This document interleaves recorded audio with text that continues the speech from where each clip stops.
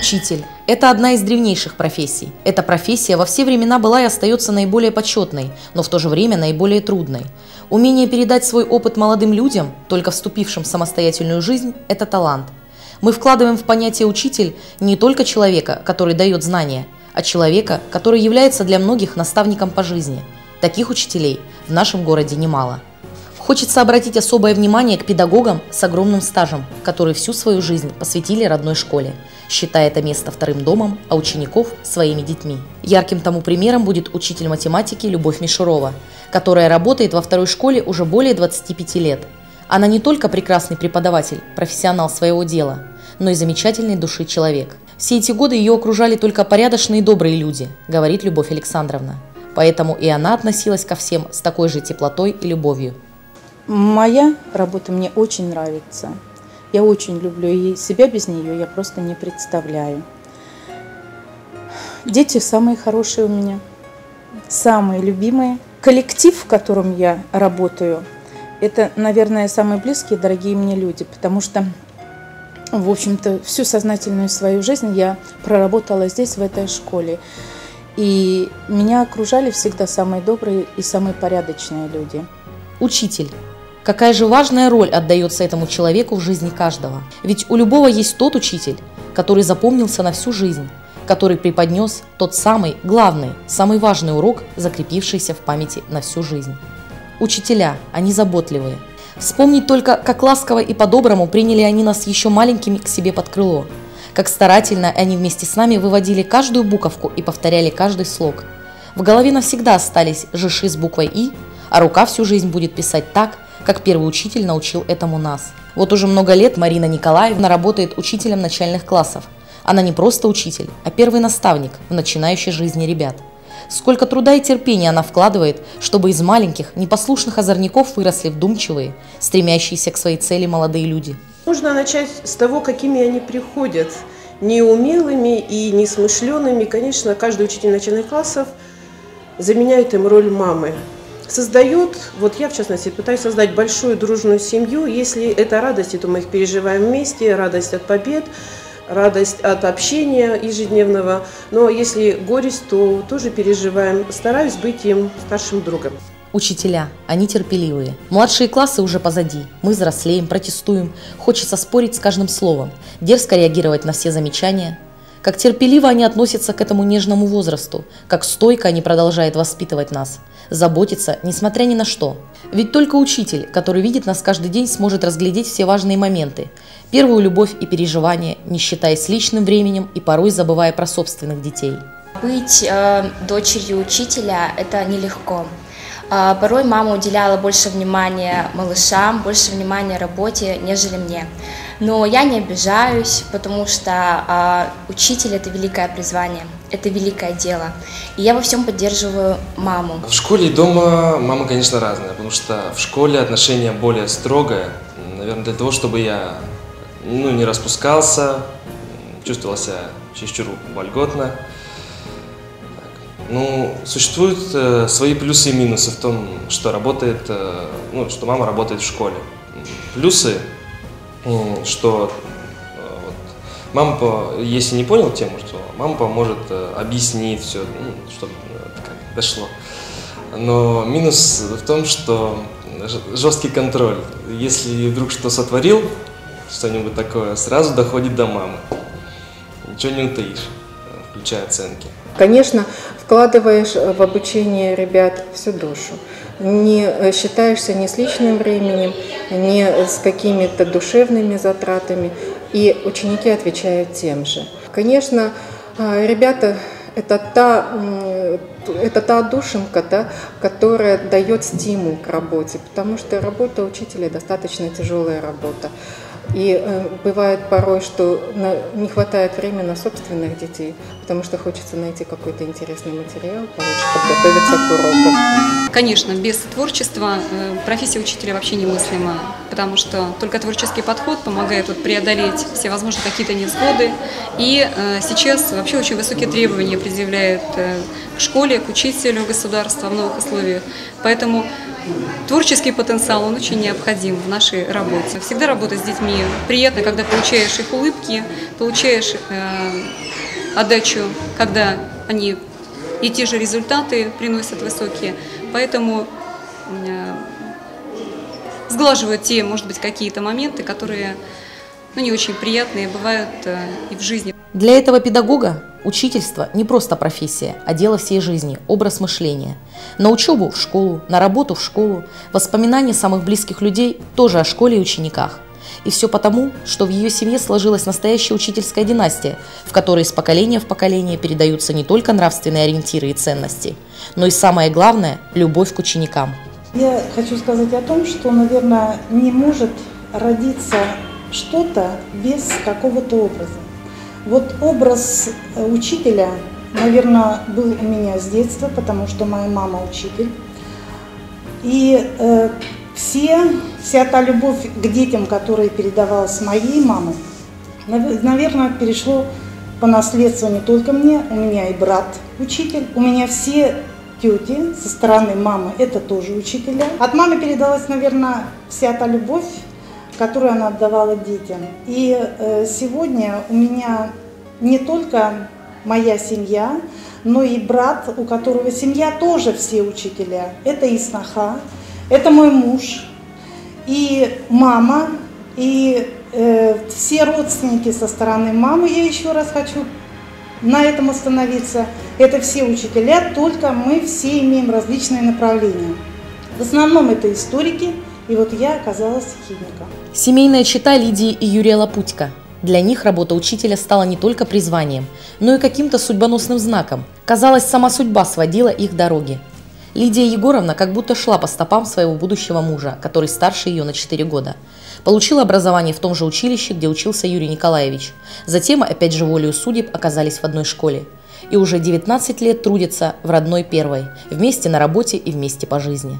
Главный девиз этой прекрасной семейной пары – душевного тепла, любви, богатства знаний, мудрости должно хватать не только на учеников, но и на своих собственных детей. Нас профессия свела. Я, я такой вспоминаю интересный случай, когда я поступила в педагогическое училище.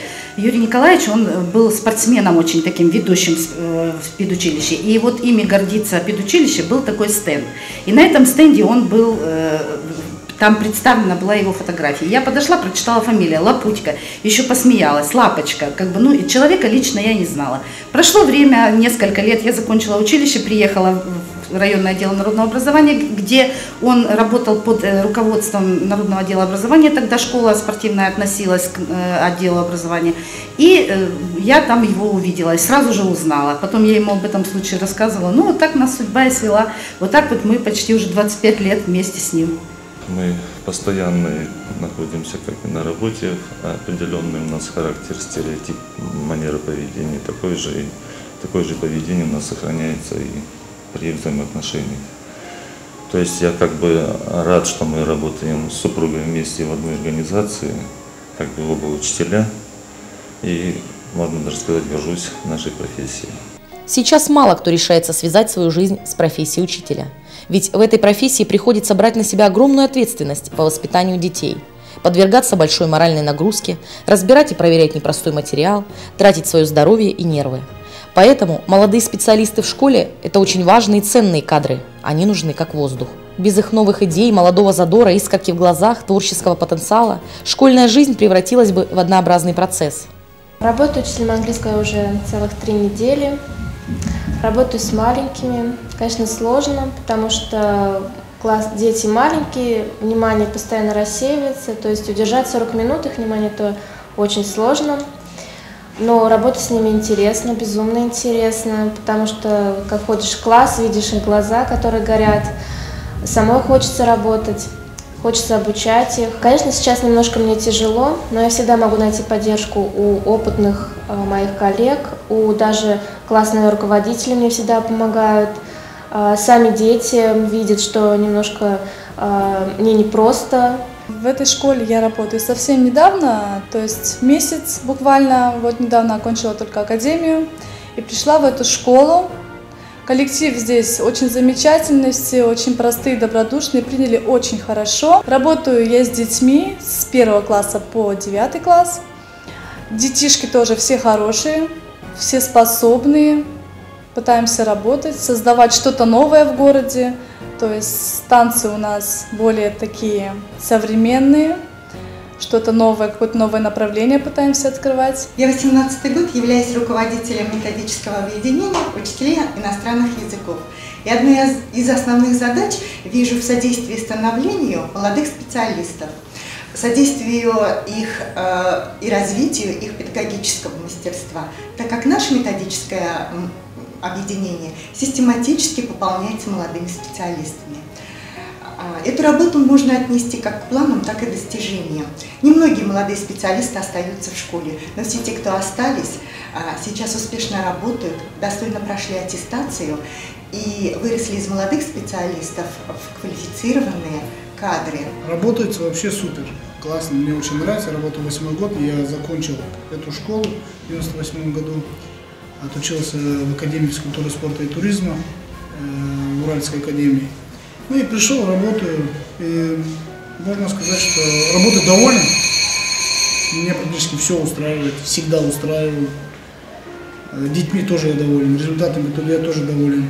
Ну и коллектив у нас очень такой теплый, доброжелательный, отзывчивый.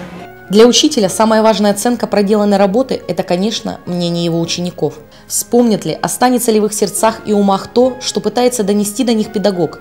Ведь школьные уроки – это не только обучение какому-то предмету, это еще и одновременно воспитание, дружеские беседы, поддержка и общение. Наши учителя, ну как, на мой взгляд, они не просто учат как бы нас уроку данному, то есть их предмету, учат тому, что еще пригодится в жизни. То есть к ним свободно можно подойти на перемене и поговорить на любую личную тему. Ну, у меня тоже в свое время какие-либо проблемы возникали. Они могли просто подойти там, помочь, сказать. Не просто там морально, могли практически даже сказать, если нужна будет помощь, ты можешь свободно подойти и попросить. Тот же классный руководитель. Всегда помощь, те же классные часы, всегда соберемся. Класс хорошо собран, у нас собирался класс, ну как бы формировался долго, постоянно там новенький, не новенький, ну как учитель справляется, на мой взгляд, все хорошо. Дорогие учителя, хочу поздравить вас с наступающим праздником, Днем Учителя, пожелать всех успехов в работе, полегче с детьми, всего самого наилучшего, и чтобы ваш рабочий процесс доставлял вам удовольствие. Пользуясь случаем, хочу поздравить всех учителей с праздником. Желаю вам счастья, добра, здоровья, терпения в вашем труде, хороших побольше учеников. Спасибо вам за ваш нелегкий труд. Пользуясь случаем, хочу поздравить всех учителей восьмой школы с профессиональным праздником Днем Учителя. Пожелать всем здоровья, благополучия, неиссякаемой энергии, энтузиазма и хорошего настроения. Хочу э, поздравить учи, э, учительский состав, педагогический состав нашей школы и всех учителей нашего города, в том числе и свою любимую мамочку. Потому что День учителя для меня это не только праздник учителей, праздник педагогов, но и семейный праздник. Хотелось бы сказать спасибо нашим учителям, в частности моей любимой маме, э, за то, что э, за их терпение, за их нелегкий труд. И поздравить э, с их профессиональным праздником, пожелать тепла, счастья, здоровья. Хочется поздравить коллег с нашим общим праздником и пожелать им, ну, наверное, здоровья не только физического, эмоционального здоровья. Кроме того, конечно, э, творческого такого начала, чтобы не иссякало ни в коей мере, и э, приятных, э, и вместе с тем тех учеников, которые будут ну, действительно благодатная почва, которые найдут и понимание, найдут заботу в этом учителе и поддержку. В преддверии Дня Учителя всем учителям, конечно, здоровье, конечно, понимание детей – понимание родителей. И я считаю, что какая бы ни была сложная наша профессия, мы можем гордиться, что мы сегодня учителя. Что учителя с большой буквы, несмотря на все те трудности, которые есть, мы можем их решить и преодолеть. Ну и, конечно, я хочу сегодня сказать, что каждый учитель, конечно, должен иметь большой запас знаний и самое большое, самое главное, чтобы у него было большое сердце. Позвольте мне пожелать а, всем коллективам школ города побольше молодых специалистов с живыми энергичными глазами, а также всем коллегам огромного здоровья и позитивных положительных эмоций. Дорогие коллеги, мне хочется в наш профессиональный праздник от всей души поздравить вас, пожелать вам прежде всего здоровья. Здоровье – это не все, но все без здоровья – ничто. Будьте счастливы, пусть будут здоровы ваши семьи, счастливы ваши дети. Удачи вам на вашем трудовом пути. Говорят, мы не выбираем дороги, а они выбирают нас. Учительскую дорогу люди выбирают сами. Каждый день, переступая школьный порог, они забывают о всех своих тревогах и личных проблемах и входят в класс с хорошим настроением и доброй улыбкой. Своих учителей забыть нам не дано, и лучшие в душе поселены навечно. И пусть летят года, мы с ними все равно. Мы не забудем их, мы любим их сердечно.